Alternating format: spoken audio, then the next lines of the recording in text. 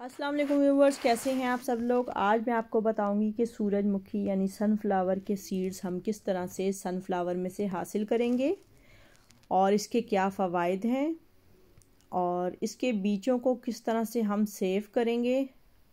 तो वीडियो को एंड तक देखिएगा, आपको ये तमाम तर मालूम मैं दूँगी। ये देख सकते हैं कि ये पाँच छः फूल मैंने सीड्स की मदद से ही ग्रो किए थे और ये कितने बड़े बड़े से फूल बन गए। और इनसे बेशुमार सीड्स हम हासिल कर सकें। तो ये देखें, ये सबसे पहली स्टेज है जब फूल खिलता है तो इस वक्त इसके सीड्स नहीं बनते। सीड्स उस वक्त बनते हैं जब ये बिल्कुल ब्राउनिश से कलर का हो जाता है और इसकी पत्तियाँ बिल्कुल गिर के मुरझा चुकी होती हैं।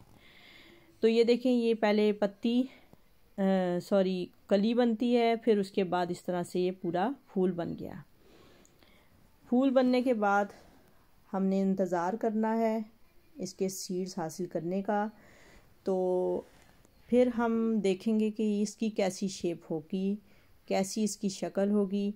ये देख सकते हैं, ये बिल्कुल झुक गए हैं और इसकी पत्तियाँ बिल्कुल मुरझा चुकी हैं और गिर चुकी हैं। तो हमने इसके जो ऊपर की पत्तियाँ, जो छोटी छोटी पेटल्स होती हैं, इनको हमने किसी भी चीज़ की मदद से गिरा देना है और नीचे इसके सीड्स हैं। आप देख सकते हैं इसके सीड नीचे से नज़र आ रहे हैं। बेशुमार सीड्स हैं जो कि हमारी सेहत के लिए बहुत अच्छे हैं। इसके बेहद फ़वाद हैं। सूरजमुखी के बीज में पोटेशियम की वाफिर मकदार पाई जाती है। सूरजमुखी के बीज जिसम में सोडियम का तवाज़ुन बरकरार रखते हैं। सूरजमुखी के बीज दिल के पट्ठों को मज़बूत बनाने के लिए भी अहम है। सूरजमुखी के बीज शरियानों में कोलेस्ट्रॉल को हल करते हैं, जमे हुए कोलेस्ट्रॉल को हल करते हैं, जिसम में प्रोटीन, फास्फोरस और आयरन की कमी को पूरा करते हैं। आप देख सकते हैं और वज़न को कम करने के लिए भी बहुत अच्छे हैं। ये बेशुमार डिशेस में भी इस्तेमाल किए जाते हैं। तो देख सकते हैं कितने अच्छे से ये सीड्स बन गए हैं।